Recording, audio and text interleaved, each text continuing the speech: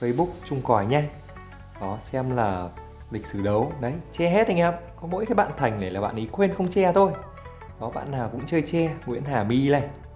Đó, chắc chắn là cũng che rồi.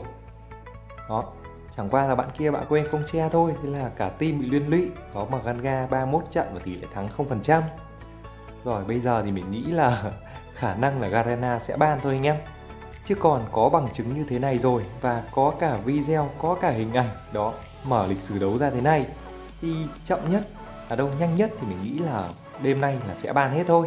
Còn nếu mà chậm nhất thì mình nghĩ sẽ sang ngày mai là có thể ban hết được tất cả những cái nick người ta gọi là bắp bẩn ở trên top thách đấu.